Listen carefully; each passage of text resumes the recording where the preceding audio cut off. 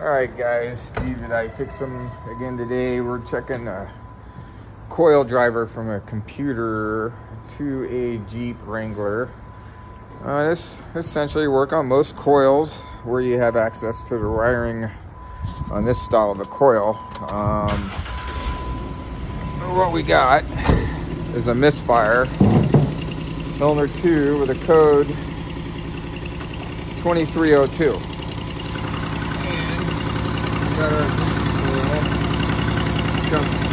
four wires to it. The brown wire in this case is an automatic shutdown relay. And the other three, this has three separate drivers.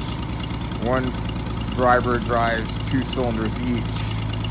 So, I'm gonna hook up to one of the wires. You see how that's flashing?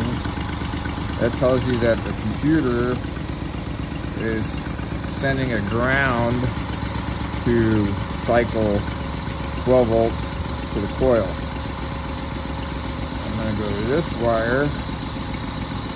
stays lit. I'll test the continuity from that wire to the computer. So the computer is not grounding the wire to cycle it. We'll go to the third driver.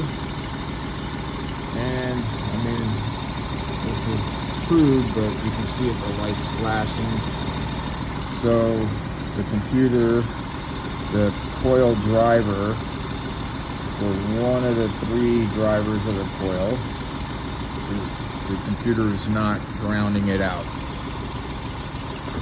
I did throw a coil on it thinking initially, since it had no spark, that that was going to solve that, you know, quick and dirty because you don't get a ton of computers but in this case, I need a computer.